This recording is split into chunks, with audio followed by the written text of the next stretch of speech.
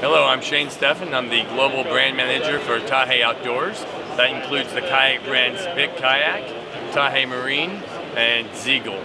I'm here today with our premium uh, premium brand Zegul to introduce the Arrow Play MV. This is one of our best-selling models. Uh, this is actually in our brand new uh, resin and in a three-layer construction. So we've uh, we've improved the resin to be one of the toughest resins on the market. And the Arrow Play is one of the most versatile boats on the market. This boat is um, is designed to be uh, to have great stability for beginners, but also stability that that works for uh, for advanced paddlers as well who are in rough conditions.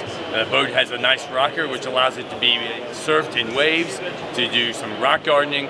So this is the, the perfect all-around boat uh, for, uh, for entry level all the way up to advanced paddlers.